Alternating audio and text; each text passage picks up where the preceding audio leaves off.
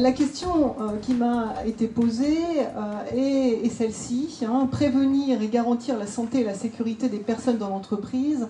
Pourquoi et comment? Alors, je pense euh, que déjà, cette question est intéressante, tant la connotation de la notion de travail est négative aujourd'hui au sein même de notre société française. Ce qui m'amène à poser une première question, c'est la santé et la sécurité des personnes au sein du travail, est-ce que c'est possible est-ce que c'est possible d'autant plus que l'historique et l'étymologie même euh, de, ce mot travail nous amène à percevoir euh, ce travail comme un véritable instrument euh, de torture, hein, le latin euh, donc tripalium, qui nous amène à, faire des efforts, qui nous amène effectivement à une application nécessaire pour faire quelque chose. Alors cette première connotation a été ensuite, je dirais, reliée à d'autres éléments, et notamment, je prends l'italien lavoro, qui nous amène au terme de labeur, euh, qui, se qui, nous amène également à la notion de peine, à la notion de fatigue, euh, à l'adjectif laborieux que nous avons encore hein, dans, notre, dans notre langue française. Alors, tout ça pour évoquer que, en partant de, cette euh, analyse-là, nous arrivons à une connotation du travail vers la notion de souffrance, vers la notion de, pénibilité. Donc, naturellement, je dirais, euh, le travail est pénible euh, et génère de la souffrance. Alors, ces éléments-là euh, sont confirmés au quotidien par des injonctions hein, permanentes. D'abord, des injonctions liées à la religion, hein, qui ne travaille pas ne mange pas, tu travailleras désormais à la sueur de ton front, à chaque jour suffit sa peine. Hein. Et puis alors là, d'un côté très très féminin, des petits rappels quand même, moi qui ai accouché quatre, trois fois, donc euh, j'ai été en travail, euh, là j'attendais le médecin d'ailleurs à ces euh, on dit d'une situation qu'elle nous travaille, quand on, elle nous perturbe, elle nous empêche de dormir, etc. Donc vous voyez, Bref, franchement, le bonheur au travail, on en est bien loin lorsqu'on fait cette petite liste qui nous amène à, différentes hein, connotations religieuses, euh, linguistiques, etc. Alors malgré tout, je vais tenter euh, de euh, vous transmettre un petit peu, n'est-ce pas, d'aspects positifs. et d'abord, on va revenir à la question du pourquoi. Pourquoi est-ce qu'il nous faut... ah non, j'ai oublié quand même qu'au-delà de cela, les médias en rajoutent une couche hein, avec des ouvrages qui nous mettent le moral à zéro en permanence, donc, euh, le travail intenable, ce n'est pas une liste exhaustive, j'ai mis trois petits points, hein, parce qu'il euh, y en aurait des pages et des pages, hein, surtout que c'est très très à la mode en ce moment. Donc, le travail intenable, le travail peut nuire gravement à notre santé, ils ne mourraient pas tous, mais tous étaient frappés, le travail usure mentale, etc. Et puis, euh, je dirais, ces derniers mois, une, une, évolution aussi, puisque Jusqu'à présent, on nous parlait des salariés malades, des salariés en souffrance, mais on voit apparaître aussi les dirigeants euh, en souffrance. Et mon collègue Olivier, euh, l'année dernière, était venu vous en parler, hein, parce qu'il il a même créé son observatoire de la santé euh, des dirigeants hein, du, côté de Montpellier. Et puis là, nos DRH s'en mêlent aussi, hein, parce que vous voyez, un DRH d'une très grande entreprise a écrit D comme DRH et dépressif. Alors là, si les DRH s'en mêlent, on est quand même, euh, je dirais, pas très bien parti au sein de nos entreprises. Bon, voilà le constat. On n'a pas le choix, nous, chefs d'entreprise, c'est une obligation légale. C'est une obligation légale avec un premier article hein, qui met en avant la responsabilité de ce chef d'entreprise qui doit assurer et protéger la santé physique mais également la santé mentale des travailleurs. Alors on aurait pu s'arrêter là, vous voyez, on avait deux lignes, les choses étaient dites, hein, etc. Mais le Code du travail précise encore les éléments en disant les mesures que doit prendre un, un chef d'entreprise sont relativement importantes. D'abord, il se doit de prévenir les risques professionnels et la pénibilité. Ensuite, il doit informer, il doit former, et puis, il doit mettre en place une organisation adaptée, des moyens adaptés au sein de son entreprise. Et puis, non seulement ça, mais il doit aussi veiller à ce que ces moyens, cette organisation, soient adaptés en permanence aux évolutions constatées au sein de l'entreprise. Donc ça veut dire que ce chef d'entreprise, il doit en permanence renouveler son effort d'analyse et d'adaptation de son entreprise à l'évolution donc hein, de du contexte dans lequel il se trouve. Là encore, on aurait pu s'arrêter là. Voilà, ce chef d'entreprise, eh bien, a tout de suite a compris qu'il faut qu'il s'intéresse à former, à informer, etc. Mais le Code du travail est encore beaucoup plus précis. Et je dirais que euh, finalement, en lisant ce Code du travail, nous avons notre plan d'action en matière de prévention, de politique, de santé, de sécurité au travail. On nous dit d'abord il faut éviter les risques. On nous dit ensuite il faut évaluer les risques pour qu'ils ne peuvent pas être évités. On nous dit il faut combattre les risques à la source. Les bouchons d'oreilles c'est bien, mais ça ne résout pas les problèmes. Donc il va falloir regarder quels sont les déterminants donc, du bruit et des problématiques de bruit au sein de nos entreprises. Ça j'adore, c'est le point 4, j'adore, c'est adapter le travail à l'homme. Donc ce n'est pas à l'homme de s'adapter à l'entreprise, c'est à l'entreprise de s'adapter à l'individu. On part des contraintes de l'individu et on réfléchit sur comment on doit organiser le travail, comment on doit organiser le temps de travail, comment on doit véritablement manager dans l'entreprise pour répondre à euh, ces contraintes diverses et variées de chaque individu au sein de l'organisation. On amène la dimension technique, hein, il faut tenir compte de, de l'état de la technique, il faut remplacer ce qui est dangereux par ce qui n'est pas dangereux. Il faut planifier la prévention dans une vision globale en mettant de la technique, mais également de l'organisation des relations sociales, etc.. On va prendre les mesures de protection collective avant les mesures de protection individuelle et on va donner des instructions euh, précises aux salariés. Alors, tout est dit tout est dit, je prends mes articles les uns derrière les autres, j'ai un plan d'action extraordinaire au sein de mon entreprise pour agir sur la prévention de la santé et de la sécurité. Alors, l'autre point, c'est que, on voit déjà que la liste est longue, mais ce législateur, il en rajoute en permanence. Hein, donc, parce que visiblement, ça ne suffit pas donc on va remettre une couche au sein de l'entreprise. Et la petite dernière, quand même, je vous le rappelle, hein, c'est cette fameuse loi de prévention de la pénibilité, où derrière, qu'est-ce qu'on veut? Je vous rappelle le contexte quand même. On veut faire en sorte que les salariés travaillent le plus longtemps possible. 60 ans n'est plus l'âge, euh, je dirais, théorique, mais on veut les amener à plus de 60, on va arriver vers 62, et quand on regarde en Europe, hein, on est à 65, voire 67. Donc où va-t-on s'arrêter? Mais encore faut-il que ces salariés-là soient en capacité réelle de travailler. Et donc se pose la question de cette prévention de la santé et de la sécurité au sein de l'entreprise, non pas pour faire plaisir, n'est-ce pas, euh, aux salariés, mais pour faire en sorte qu'ils puissent travailler le plus longtemps possible au sein de notre société française, parce que les régimes de retraite, etc., etc.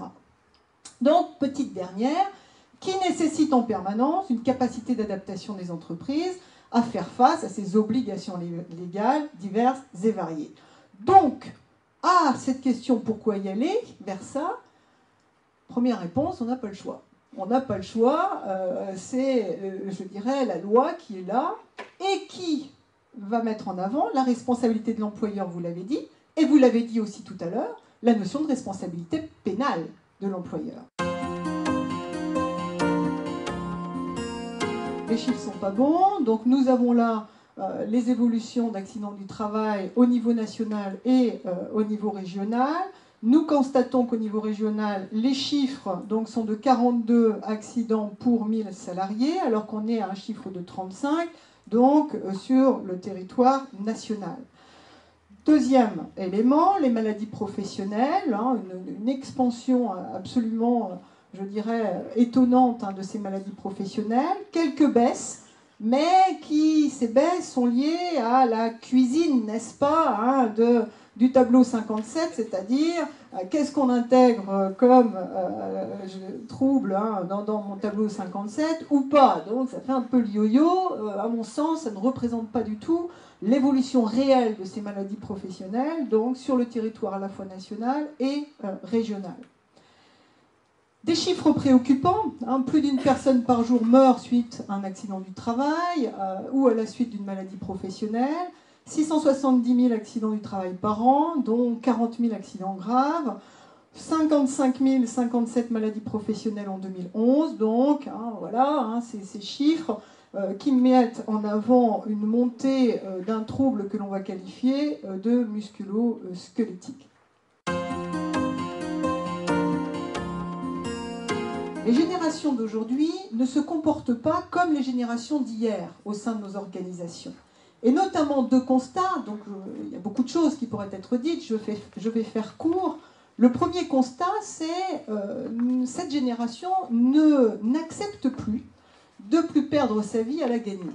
C'est-à-dire que les risques que l'on pouvait prendre par le passé ne sont plus pris aujourd'hui au sein de nos organisations. Le deuxième point, c'est l'articulation des temps. Le travail ne représente plus la pierre angulaire, donc le point essentiel de l'existence euh, des individus, mais est mis en concurrence avec d'autres éléments, la vie euh, familiale notamment, une prise de conscience très forte euh, de, euh, je dirais, la difficulté hein, de, de, cette vie familiale et la fragilité de cette vie familiale qui nous amène à tenter d'articuler au mieux cette vie professionnelle et cette vie familiale. Et puis la dimension personnelle, on va nous parler de société, d'individualisme fort, hein, où on rêve de d'être heureux euh, individuellement au sein de cette société, donc qui nous amène à, à, prendre soin de soi. Le prendre soin de soi qui va nous amener à nous autoriser à faire du sport, à prendre des loisirs, etc. etc. Eh bien, tous ces éléments-là, toutes ces évolutions sociologiques font que de plus en plus, nous allons avoir cette problématique au sein des organisations d'articuler ces différents temps professionnels, personnels, familiales, etc. Deuxième point, des attentes différentes de la part des salariés, donc à l'égard du travail.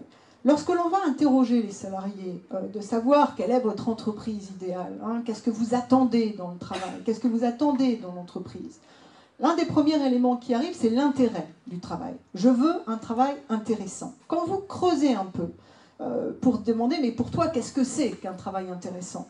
Eh bien, on va avoir immédiatement la dimension de diversité. Moi, je veux faire des choses différentes. Je ne veux pas la monotonie, faire tout le temps la même chose, etc.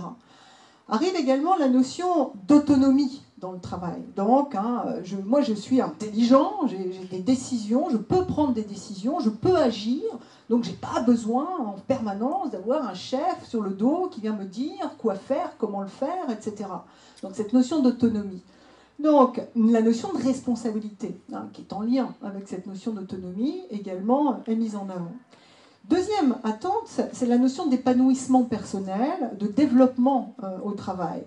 Je veux avoir la possibilité d'utiliser mes compétences dans l'entreprise. Je veux avoir la possibilité d'évoluer et de faire évoluer euh, mes compétences dans l'entreprise. D'avoir l'impression d'être plus intelligent le soir quand je me couche que quand je me suis levé le matin. Donc tellement j'aurais appris de choses dans mon activité, dans mon expérience professionnelle. Cette notion de développement. Bien sûr, la considération et le respect, c'est tellement évident. Hein. Maslow, déjà dans les années 50, mettait en avant ces besoins humains fondamentaux hein, de considération et de respect. La notion de reconnaissance qui va nous amener à nous interroger dans l'entreprise sur nos politiques de rémunération, nos politiques d'évaluation, nos, modes de management dans l'entreprise, et puis la notion de qualité de vie au travail qui est plus récente euh, et qui englobe bien évidemment les conditions physiques de travail, mais au-delà les conditions euh, psychologiques de travail. Donc, ces attentes sociales sont verbalisées, beaucoup d'études, je vous le dis, sur ces éléments-là, qui nous amènent à constater un certain malaise lorsque ces attentes ne sont pas satisfaites dans l'entreprise. Et ce malaise va amener à des nouveaux comportements dans l'organisation. Alors d'abord, des problématiques d'absentéisme. Donc vous voyez que alors même que les médias n'ont de cesse de nous parler de crise économique, etc., ce taux d'absentéisme augmente. Donc hein, on est passé de 3,84% en 2011 à 4,53% en 2012. Donc euh, ce qui correspond à 16,6 jours d'absence euh, par salarié, nous allons voir que le coût est considérable à la fois pour nos entreprises et pour la société en général. Deuxième euh, comportement, c'est l'infidélité, le vote par les pieds. Je n'ai pas dans l'entreprise ce que je viens chercher, je quitte cette entreprise pour aller voir ailleurs. Ce qui peut amener le chef d'entreprise à dire Je ne comprends pas hein, ces gens qui partent tout le temps, qui ne restent pas au sein de mon organisation, moi qui fais quand même un travail formidable. Hein. Donc, cette notion d'infidélité. La démotivation et la désimplication. Donc, je suis présent, mais alors j'en fais le moins possible dans l'entreprise. Et puis, plus récemment, euh, là, j'ai le retour d'un certain nombre de, RH hein, qui sont choqués euh, de par la nécessité d'avoir à gérer un certain nombre d'éléments, par exemple le refus d'être embauché. Donc je suis intérimaire, on me propose un CDI et je réponds non. Je n'ai pas envie hein, de travailler dans cette entreprise-là. Je veux rester libre, libre de pouvoir accepter ou pas telle mission qui me sera éventuellement proposée. Donc refus d'être embauché. La demande de prolongation d'une période d'essai. Donc là, une RH hein, me, racontait un jeune ingénieur qui arrive en bout de sa période d'essai, qui euh, est convoqué par cette DRH en question pour lui proposer un CDI. Euh, ce jeune ingénieur disant bah, écoutez, moi, je ne sais pas, hein, je ne sais pas si j'ai envie de travailler chez vous. Donc, euh, est-ce qu'on ne peut pas prolonger hein, la période d'essai de manière à ce que j'ai une représentation un peu de l'entreprise plus importante? Le refus d'une promotion que l'on constate très souvent sur des changements de statut. Euh, le non-cadre qui refuse de, passer cadre parce qu'il a une vie après 17 heures euh, qui est très très enrichissante. Euh, et s'il passe cadre, il ne gère plus ses horaires, il ne veut pas remettre en cause son hors-travail hein, que j'évoquais tout à l'heure. Et puis, je dirais, hein, on a aussi hein, des problématiques d'addiction. Nous sommes les champions du monde en France de la consommation de médicaments, donc, et les tentatives de suicide que les médias donc euh, aime, euh, je dirais, relater hein, au sein de, notre société. Donc, des nouveaux comportements, et puis également un phénomène que on a déjà depuis quelques années euh, appelé un phénomène nouveau, qui n'est plus un phénomène nouveau, c'est l'accroissement du stress. Donc là, j'ai repris les travaux de l'Agence européenne de santé et de sécurité au travail pour définir cette notion de stress lorsqu'il est constaté un déséquilibre entre ce que je peux donner ou ce que j'ai l'impression de pouvoir donner et ce que l'on demande, euh, ce que l'entreprise me demande de faire. C'est-à-dire, j'ai cette impression de ne pas pouvoir être à la hauteur. Donc cette impression que je ne vais pas pouvoir y arriver. Je n'ai pas les ressources nécessaires pour répondre aux attentes de l'organisation et donc je suis dans ce euh, phénomène de stress. Alors, vous voyez, euh, on est là donc en décalage, hein, on est en décalage avec des attentes que parfois l'entreprise n'arrive pas à satisfaire, qui nous conduit à des comportements, à des phénomènes de stress euh, connus euh, aujourd'hui. Troisième argument que je veux évoquer, c'est, oui, je suis bien, quatrième argument, c'est l'accroissement des coûts. C'est-à-dire ne pas s'occuper de la santé et de la sécurité au travail, c'est remettre en cause la pérennité de l'entreprise c'est remettre en cause la pérennité de l'entreprise du fait de ce que euh, des enseignants-chercheurs, dans leur théorie euh, socio-économique, ont appelé des coûts cachés. Lorsqu'on regarde des comptes de l'entreprise, on en a vu des comptes d'entreprise, à aucun moment j'ai ces éléments-là. Donc le coût de l'absentéisme, le coût de l'infidélité, les coûts des maladies professionnelles, les coûts des accidents du travail, etc. Donc coûts cachés parce que seuls les tableaux de bord sociaux vont me permettre d'évaluer ces coûts qui remettent en cause la pérennité de l'organisation. Quelques chiffres là, hein, le coût des mauvaises conditions de travail euh, évalué à 1670 euros par salarié et par an. On arrive sur un bilan global à 45 milliards d'euros en France. On est quand même à 3,4% du PIB. Coût direct de l'absentéisme, 6,98 milliards d'euros. Donc quand on compte les compléments de salaire et les coûts de remplacement, 8,77 milliards d'euros pour les indemnités journalières et on arrive donc pour l'année 2012 globalement à cette facture de 16 milliards d'euros. Comment agir? Comment prévenir la santé et la sécurité au travail? Comment remettre en cause cette perception du travail comme étant élément de souffrance, de peine au sein des organisations? Premier élément, une approche globale, c'est-à-dire comment je me représente l'entreprise aujourd'hui, quelle est ma vision de l'entreprise? Donc, je me dois en tant que chef d'entreprise, en tant que dirigeant au sein de ces entreprises, aujourd'hui, d'adopter cette philosophie où l'entreprise est un ensemble d'individus qui se rencontrent, des individus différents. Donc, hein, vous voyez, j'en ai, j'ai des hommes, j'ai des femmes, j'ai des couleurs différentes pour montrer la grande diversité de ma population. Dans des entreprises elles-mêmes différentes, des caractéristiques d'organisation très différentes au sein d'un territoire donné. On parlait tout à l'heure de certains secteurs d'activité qui ne vont pas bien, mais d'autres qui vont très bien. Hein. Et je dirais l'objectif de l'entreprise. Quel est l'objectif de l'entreprise? L'objectif d'une entreprise, c'est d'être performante. Qu'est-ce que c'est que la performante Quelle est la représentation que j'ai de cette notion de performance? Est-ce que la performance, c'est la maximisation du profit? Ou est-ce que la performance, c'est ce que l'on va qualifier de performance globale, c'est-à-dire la notion de performance sociale et la notion de performance économique, sachant que les deux sont étroitement associés? Donc il s'agit là de remettre notre paire de lunettes peut-être de ce que l'on avait avant. L'objectif de l'entreprise, ce n'est pas la maximisation du profit. L'objectif de l'entreprise, c'est de garantir sa pérennité par la notion de performance globale. La performance globale étant étroitement liée à deux éléments. La performance économique, d'accord, je retrouve mon chiffre d'affaires, je retrouve mon bénéfice, mais je prends conscience que cela n'est possible qu'à partir du moment où la performance sociale est réelle au sein de l'organisation.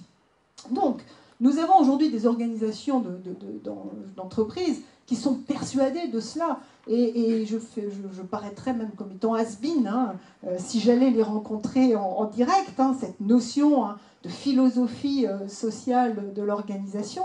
Donc, il s'agit maintenant d'entraîner la majorité des entreprises vers cette perception-là, vers cette philosophie-là, qui nous amène à nous réinventer en permanence, à être innovants socialement. On a parlé d'innovation technologique, on parle énormément d'innovation technologique, mais cette innovation technologique n'est possible que si elle est associée également à l'innovation sociale. Donc, se réinventer, donc pour être à la fois économiquement compétitif parce qu'on n'a pas le choix, parce que le contexte économique est tel que là, on n'a pas le droit à l'erreur, tout en étant socialement adapté. Approche globale de l'organisation. Deuxième élément, approche globale aussi lorsque je me représente la notion de bien-être au sein de l'entreprise. Qu'est-ce que c'est que la santé? Qu'est-ce que c'est que la sécurité? Eh bien, j'arrive à cette notion de bien-être avec notamment cette représentation comme un véritable triptyque être en situation de bien-être, c'est s'intéresser à trois éléments. Le physiologique, j'ai besoin de manger, j'ai besoin de m'hydrater, j'ai besoin de dormir, etc. Ce qui va interroger donc les RH et les chefs d'entreprise sur la gestion du temps de travail, par exemple. Hein. Donc, hein, sur également euh, les problèmes d'alimentation, est-ce que je peux me, nourrir normalement, correctement lors d'une journée de travail? La notion du biomécanique que tout le monde connaît, hein, les problématiques de troubles musculo-squelettiques, les articulations, le dos, etc. Et puis le physiologique, donc, ou le psychologique plus exactement, où là, eh bien, hein, on va parler de RPS aujourd'hui, hein. donc ces fameux risques psychosociaux, le stress que j'évoquais, le harcèlement qui euh, peut être également évoqué. Alors, quand j'ai cette représentation euh, du bien-être avec cette dynamique-là, euh, je vais m'interroger sur quels sont les, déterminants de l'ensemble de ces éléments-là. Et l'on voit que les déterminants sont multiples. J'ai mis un petit etc. parce que, bien sûr, je vais bien au-delà euh, de ce que j'évoque là, avec la notion, bien sûr, de travail, hein, la notion de charge de travail, de cadence, d'équipement, etc. L'organisation du travail et du temps de travail, et puis tout ce qui est lié au management et aux relations, à l'ambiance, au climat au sein de l'organisation. Je n'oublie pas non plus un acteur qui devient extrêmement important, c'est le client ou l'usager ou le patient en fonction des secteurs d'activité euh, que je peux avoir, qui représente une, je dirais, un vrai élément de risque dans, un certain nombre de situations. Hein, c'est le cas de nos contrôleurs SNCF en pleine grève, qui eux ne font pas grève euh, et sont, n'est-ce pas, dans les trains, et qui se voient euh, insultés de, de toutes parts, tout simplement parce qu'eux sont là pour recevoir euh, toute la frustration, n'est-ce pas, euh, des clients euh, donc de la SNCF. Donc c'est très récent, hein, n'est-ce pas, comme, comme exemple. Je n'oublie pas non plus la culture et les valeurs de l'entreprise. Quelles sont les valeurs du dirigeant hein? Quelles sont les valeurs portées par le dirigeant? Est-ce que le dirigeant pense par exemple que mettre en concurrence ses salariés va permettre une meilleure performance économique? Est-ce que de fait de cette croyance, il va développer un certain nombre d'outils de gestion des ressources humaines pour justement mettre en concurrence ses salariés? En mettant des systèmes de rémunération, par exemple, hein, qui vont mettre les gens en compétition les uns avec les autres. L'ambiance dans l'entreprise va découler directement de ces valeurs-là et de ces croyances-là. Je crois que la mise en concurrence produit de la performance économique. Au contraire, est-ce que euh, ce chef d'entreprise est persuadé que la performance sera d'autant plus importante qu'il y aura un vrai collectif dans l'entreprise, une vraie solidarité, une vraie coopération au sein de l'organisation. Et de ce fait-là, les outils RH mis en place n'auront rien à voir par rapport à l'entreprise précédente. Donc, cette notion de culture et cette notion de valeur sont euh, particulièrement importants. Donc, tout ça m'amène à un cycle, un cycle RH vertueux pour faire en sorte que ça puisse fonctionner, cette santé et cette sécurité. D'abord, il me faut une connaissance de la réalité du travail. Et pour ça, donc, il me faut faire des diagnostics. Donc, ces tableaux de bord que j'évoquais tout à l'heure, ils sont nécessaires. L'analyse des données sociales eh bien, doit être faite au sein de l'organisation. Avoir une charge de travail stimulante au niveau physique, mental, mais aussi affective. Euh, l'affect est important dans l'organisation et comme je l'évoquais tout à l'heure, certains secteurs d'activité sont aujourd'hui très heurtés par cette dimension-là. Hein, je pense notamment à, tous les centres sociaux, euh, hospitaliers, etc un degré suffisant d'autonomie. La mise en place de procédures qualité, c'est bien, mais encore faut-il laisser des marges de manœuvre aux salariés pour qu'ils puissent agir en fonction de la réalité du travail. Un degré suffisant de reconnaissance qui m'amène à la notion d'évaluation, de rémunération, de formation, de carrière, de management et tout le reste. Un degré de soutien social satisfaisant. Ce soutien venant bien sûr de la hiérarchie. Le rôle du manager est essentiel pour permettre cette santé, cette sécurité au travail.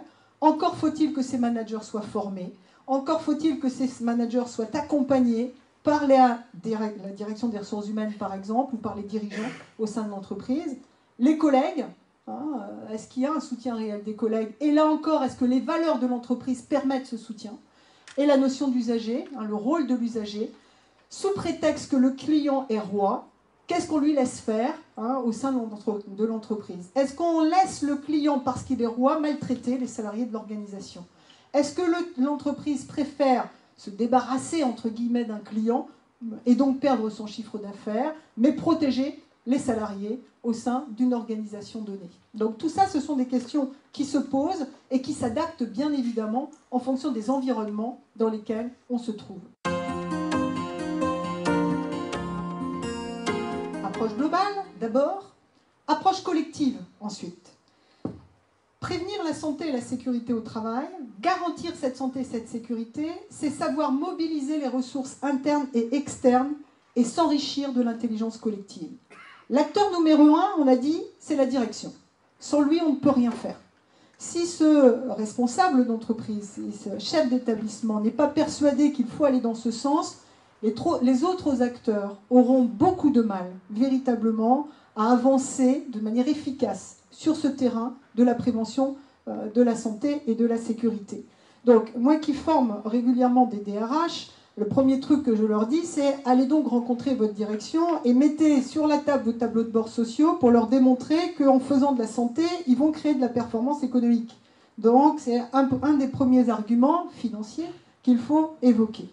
Donc ce directeur, cette directrice, ils vont être accompagnés par un certain nombre d'acteurs internes, le DRH lorsqu'il existe, même dans les très petites entreprises. Parce que dans les très petites entreprises, je peux avoir un responsable des ressources humaines à temps partagé, en faisant appel à un groupement d'employeurs. Ce DRH à temps partagé, il sera chez moi un jour par semaine. Et ce jour par semaine, il va s'occuper de mon document unique. Il va s'occuper de repérer les risques professionnels au sein de mon organisation. Le DRH ou encore le directeur hygiène, sécurité, qualité, donc hein, que je peux aussi avoir en temps partagé lorsque je suis une entreprise de 10 salariés, donc euh, sur un territoire donné. Donc je ne fais pas la liste des groupements d'employeurs, je peux vous dire qu'en Bretagne, il y a énormément de groupements d'employeurs qui peuvent répondre à cette demande-là. Nous avons également les instances de représentation du personnel, bien évidemment, euh, qui doivent être associées, mais qui doivent être aussi formées. Il nous faut des gens compétents dans l'entreprise pour s'emparer de ces différents dossiers-là. Que ce soit le CHCCT ou les représentants du personnel, je dois les accompagner par la formation pour qu'ils soient en capacité véritable de parler de risques psychosociaux, de risques physiques, de conditions de travail, de documents uniques, etc. etc. J'ajoute, j'aurais peut-être dû commencer par cela, les salariés. Ces salariés sont les seuls dans l'entreprise qui ont une vraie représentation de la réalité du travail, tout simplement parce qu'ils le vivent au quotidien. Donc, ils sont là les mieux informés, les mieux à même de proposer des logiques d'évolution pour améliorer leurs propres conditions de travail. Sauf que il faut les écouter, il faut les mettre à contribution, et notamment par des logiques de management, euh, par groupe de travail. Donc faire en sorte que ces gens-là travaillent sur comment peut-on améliorer nos conditions de travail au quotidien. Au-delà de cela, euh, j'ai bien évidemment euh, les services de santé au, travail lorsque là je suis en grande entreprise et que j'ai la chance d'avoir des compétences spécifiques dans ce domaine en mon sein, n'est-ce pas? Sinon, eh bien, je devrais aller les chercher à l'extérieur. Et je vous ai fait là une petite représentation de l'ensemble des acteurs que nous allons pouvoir euh, trouver sur un territoire donné qui vont pouvoir agir en tant que soutien, donc, pour véritablement œuvrer dans ce sens de la prévention des risques et de la santé, donc, au sein euh, de nos organisations. Donc, la notion euh, d'acteur externe. J'ai parlé d'approche euh, globale, j'ai parlé d'approche collective, savoir s'enrichir de l'intelligence collective, nous arrivons à une approche continue. Pour que ça fonctionne dans une organisation, il ne faut pas que ça soit un coup, c'est-à-dire hein, je fais mon document unique et voilà, c'est bon, j'ai prévenu la santé la sécurité euh, dans euh, mon organisation. On est là dans une philosophie, dans un travail qui est un travail en continuité permanente dans l'entreprise. Donc je parle ici de la notion de cycle de prévention qui m'amène d'abord à partir de la réalité, c'est-à-dire la contrainte du travail et euh, l'analyse réelle de cette contrainte du travail. Cette contrainte du travail, dans un certain nombre de cas, elle est très difficile à, combattre. Je vais, donc je, pense hein, particulièrement à certains secteurs. Je vais adosser ces contraintes aux caractéristiques de ma population. Dans mon entreprise, j'ai des caractéristiques, j'ai des femmes, j'ai des hommes, j'ai des niveaux de scolarité, j'ai des âges, j'ai des anciennetés différentes. Eh bien, quelles sont ces caractéristiques-là? Le couple contrainte et caractéristique m'amène à anticiper un certain nombre de risques au sein de mon organisation. Je couple ça aux données sociales que j'évoquais tout à l'heure déjà, les accidents du travail, l'absentéisme, les maladies professionnelles, qui m'amènent à prendre des décisions d'action au sein de l'organisation. Et une fois que ces actions sont décidées, eh bien, je vais analyser leurs effets pour arriver à des logiques d'adaptation et de modification, et je repars sur l'analyse de mes contraintes, etc., etc. Vous avez bien compris là que tout seul, le chef d'entreprise ne peut pas faire ça. Et donc, ces acteurs internes sont essentiels pour qu'il y ait une vraie mobilisation autour hein, de ce cycle de prévention, tout à fait nécessaire si l'on veut garantir cette pérennité de l'entreprise par la performance globale, donc, et notamment performance globale liée non seulement à la performance économique, mais également à la performance sociale.